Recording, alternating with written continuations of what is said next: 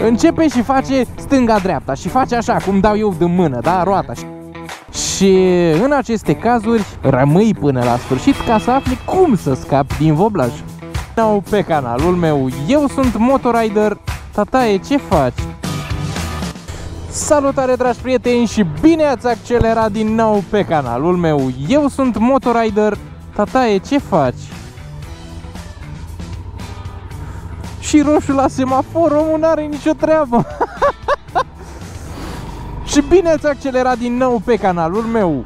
Am zis că eu sunt Motorider, astăzi vorbim despre voblaj. Ce este voblajul, la ce te ajută sau la ce te încurcă și cum poți să scapi din voblaj. Acestea sunt întrebările pe care ni le punem astăzi în același timp și răspundem la aceste întrebări, că doar nu ne punem așa întrebările și le lăsăm în, în copac să, nu știu, să răspundă altcineva la ele. Nu, punem întrebările și răspundem la ele. Așadar, dragilor, este un fenomen care a adus, din păcate, la foarte mulți dintre motocicliști mari belele. La unii chiar fatale. Mă refer aici la voblaj. Ce este acest voblaj, de fapt? Voblajul este momentul în care roata din față începe și face mișcări oscilatorii stânga-dreapta, da? Adică ce se întâmplă? Mai pe românește. În momentul în care mergi, bă, tu cu motocicleta, bă, uh, roata de față împreună cu ghidonul, că na, roata de față e legată de ghidon, începe și face stânga-dreapta și face așa, cum dau eu de mână, da, roata și ghidonul la fel, face stânga-dreapta, da? Bun, de ce se întâmplă lucrul ăsta? O să discutăm în momentul ce urmează. Două secunde să dăm prioritate copilului. Perfect. Ei bine, dragilor, în momentul în care ai intrat în voblaj, așa se numește termenul de, de a sfugi ghidonul din stânga în dreapta, ă, se numește voblaj. Ghidonul începe și fuge la început puțin, iar apoi face mișcări din ce în ce mai largi, mai mari, urmând ca ultima mișcare să-ți dea ghidonul peste cap și să te arunce pe jos, că doar nu te aruncă pe sus. Bine, poate să te arunce în sus și după aia pici pe, pe jos. Na, pici pe jos, că nu poți să pici în sus. Uh, și atunci, de ce se întâmplă acest voblaj? O să vă pun, de fapt, câteva imagini acum cu exemple de voblaj și de accidente din cauza acestui voblaj.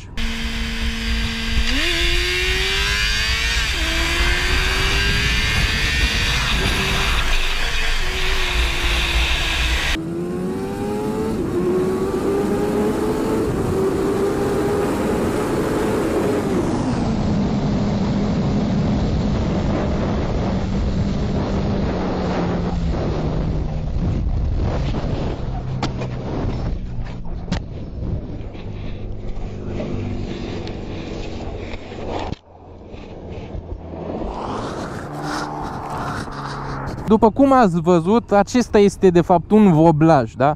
Este o forță fizică care, pot să zic eu așa, este un blestem al motociclismului. Acest voblaj, mi-ai, acest voblaj se întâmplă din mai multe lucruri, din mai multe considerente, din mai multe cauze, din mai multe perspective, din mai multe lucruri, chestii, nu știu, cum vreți voi să le spuneți. Acest voblaj se poate întâmpla din mai multe cauze. Care ar fi unele dintre cauzele acestea Uh, pentru că sunt foarte multe și nu cred că am cum să le explic pe toate într-un videoclip în timp ce merg prin trafic, așa că o să explic marea majoritate a cauzelor uh, care provoacă acest voblaj. Cel mai des dintre ele fiind descărcarea de greutate a roții față a motocicletei.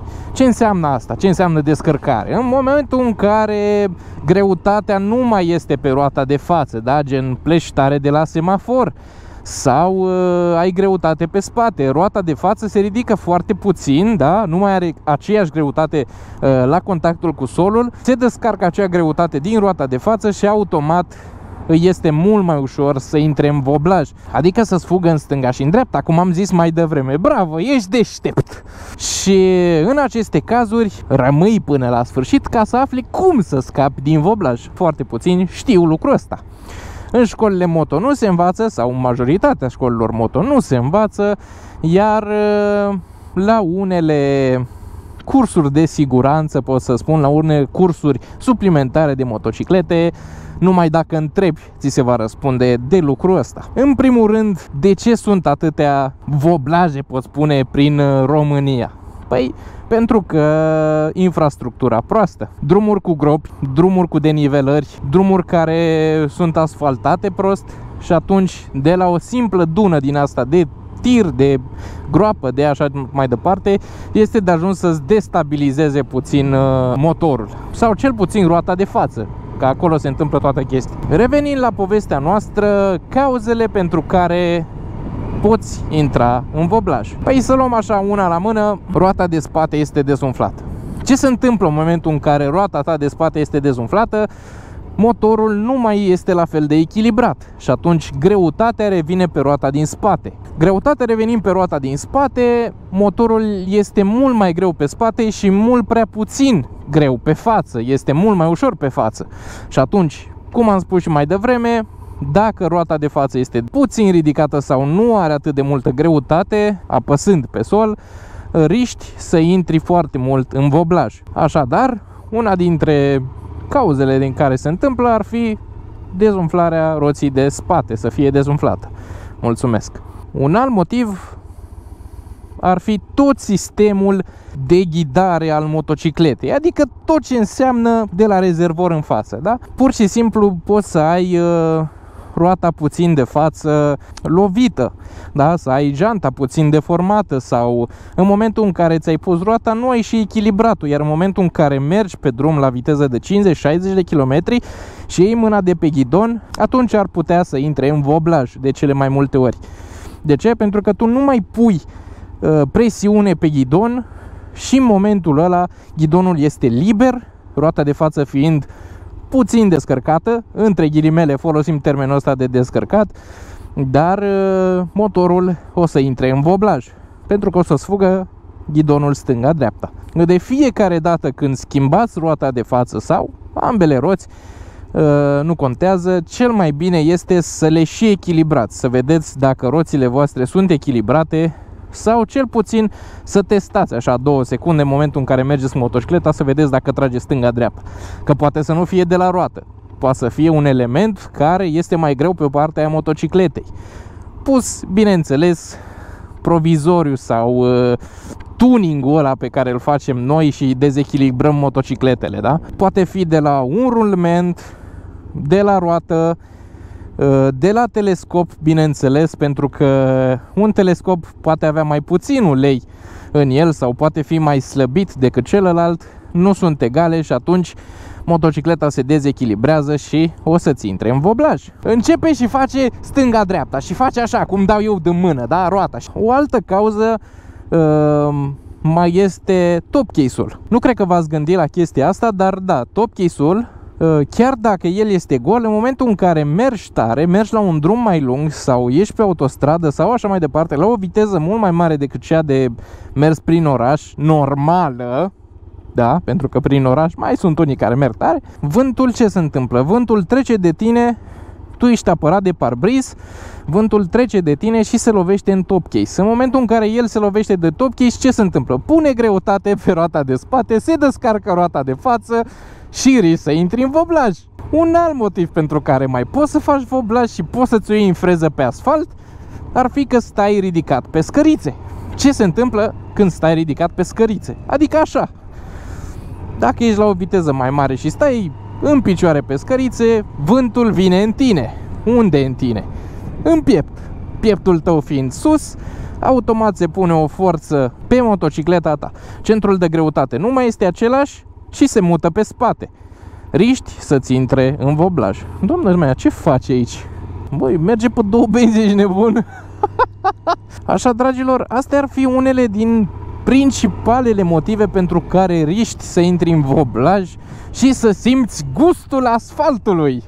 Doamne ferește! Dar sunt unele cazuri când poți scăpa din acest voblaj. Cum am spus și la începutul videoclipului, au fost cazuri, inclusiv anul ăsta, de accidente fatale în care omul care a intrat în voblaj putea să se salveze printr-un simplu lucru. Accelerația.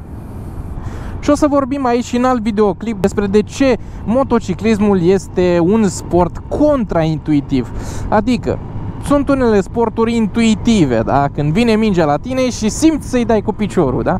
E, ăla este intuitiv, pentru că o faci la intuiție. Motociclismul, în schimb, nu este un sport intuitiv, este un sport contraintuitiv, pentru că multe faze pe care noi le întâmpinăm pe motocicletă sunt contraintuitive. Nu-ți vine să faci lucrul ăla. Și atunci, ca să scapi din acest voblaj, ca să ne întoarcem la ce spuneam noi, ca să scapi din acest voblaj și v-am arătat spre accelerație, asta trebuie să faci. În momentul în care motocicleta îți intră în voblaj, tu nu trebuie să pui frână. Pentru că deja intrând în voblaj, este mult mai greu să, să scapi din acest boblaj având roata de față în contact cu solul. Roata de față fiind în contact cu solul și forța aceasta venind, da, în descurajarea ta în descurajarea ta ca și motociclist, te sperii și pui frână. Asta este un lucru contraindicat nu este bine să pui frână. Și atunci, de ce spun eu să accelerăm în momentul în care avem un voblaj? Logica este foarte simplă. Ți-a intrat în voblaj, a început ghidonul să sfugă stânga și dreapta, roata să miște stânga-dreapta, ai accelerat, în momentul în care ai accelerat, ce se întâmplă? La fel, în care spatele ridici fața, dar de data asta ridici roata de față. Ridicând roata de față, dragilor, ce să vă mai fugă? Pentru că roata nu mai are contact cu asfaltul. E atât de logic. Și de asta zic că e contraintuitiv în momentul în care tu pățești ceva pe motocicletă, instinctul tău spune să pui frână. Instinctul tău spune oprește-te, vreau să cobor întreg. Ei bine, nu este chiar așa. Asta trebuie să faci în momentul unui voblaj. Trebuie să accelerezi. Depinde acum, se poate întâmpla și voblaj pe curbă, unde este mult mai nasol. Acolo de cel mai multe ori n-apucă să fie un voblaj, ori este un low side, ori este un high side. Dar uh, o să vorbim în alte videoclipuri și despre fenomenul ăsta de semi-voblaj pe curbă, da? Dar în cele mai multe cazuri, dacă ești pe drum de cum sunt eu acum și ești într-un voblaj, cel mai indicat este să accelerezi. La fel cum am spus mai devreme, accelerând, ridici roata de față de la sol, dacă n-ai putere, ridic-o cu, nu știu, dă cu ambreiajul, fă ceva, pentru că o să ridici roata de față și atunci roata ta de față, nemai având contactul cu asfaltul, cum am spus, nu mai are ce să-ți fugă. Așa scap din voblaj. Și sunt lucruri din genul ăsta, cum este ăsta cu voblajul, care dacă cineva ți le-ar spune, cel puțin în școală, în majoritatea școlilor din România, vă spun sigur, sigur că nu se face așa ceva, nu te învață lucrul ăsta, nu te învață cum să te ferești de pericole, nu te învață cum să te salvezi în momentul în care ești un, într-un pericol. Da, majoritatea spun nu faci aia pentru că o să cazi, nu faci aia pentru că o să cazi, dar nimeni nu-ți spune nu faci aia pentru că o să cazi din cauza asta. Sau dacă faci lucrul ăsta și te găsești în pericolul acesta, uite frate, fă asta ca să nu piși sau fă asta ca să te salvezi. Majoritatea nu spun asta, majoritatea ne pregătesc pentru a lua permisul și atât.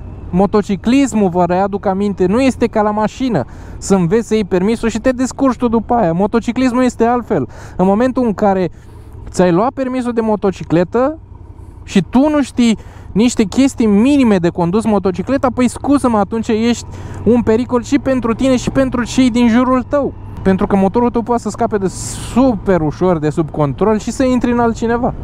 Nevinovat. Mai ales că majoritatea ne luăm, bravo, majoritatea dintre noi ne luăm motociclete mult mai puternice decât putem să ducem sau mai ales și cel mai nasol ne luăm motociclete de viteză când ne urcăm prima dată pe o motocicletă sau când abia am luat permisul, neavând experiență. Eu spun că pentru o motocicletă de viteză ca să conduci o motocicletă de viteză pe stradă, ți-ar trebui undeva la 3-4 ani de condus o motocicletă normală. Uh, motocicleta răspunde mult mai repede la orice simți, la orice chestie. Orice chestie pe care o faci pe motocicletă, pe o vitezană, pe stradă, răspunde foarte repede, răspunde de 10 ori mai mult decât o motocicletă normală. Și la frână, și la accelerație, și la orice comandă. Mai este ceva cu voblajul, dragilor. Cum să mai scap din acest voblaj? Pentru că, da, se întâmplă de cele mai multe ori la motocicletele de viteză. Așa că, atenție! amatorii de, de, de mers tare și de viteză pe stradă. Există un amortizor, și o să vă las o poză acum în imagini, care se numește un amortizor anti-voblaj. Ce se întâmplă cu amortizorul ăsta? Ți întărește cumva ghidonul, ca să nu mai apuce să sfâgă stânga-dreapta. Acest amortizor îl vedeți și pe motocicletele de MotoGP și îl găsiți și pe majoritatea uh, motocicletelor de viteză. Mamă, ce dăciuță frumoasă! Rar mai vezi așa ceva. Voi știu până în acest moment cum se scapă din acest voblaj sau ai pățit vreodată să ai voblaj? Spunem cum ai reușit să scapi din el sau spunem cum s-a terminat toată treaba asta și dă videoclipul mai departe și prietenilor tăi ca să afli și ei și să nu pice dintr-o prostie, pot spune, sau din necunoștință. Pentru că, până la urmă, de cele mai multe ori, boblajul se mai întâmplă și la revenirea pe asfalt cu roata de față. Când faci wheelie și revii pe roata de față, forța este foarte mare și riști să-ți arunce roata în stânga și în dreapta. Dragilor, vă mulțumesc că v-ați uitat și la acest vlog. Nu uita să dai și tu un share, un coment și să fii și tu un motorider de pe www.motoridershop.ro Scrie în comentarii acolo dacă ți-a fost acest videoclip de ajutor dă-l mai departe, să fim cât mai mulți pe această comunitate și să ne meargă bine algoritmul. Eu am fost Motorider, iar până data viitoare, Motorider pentru tine, numai bine. Pa! Bye.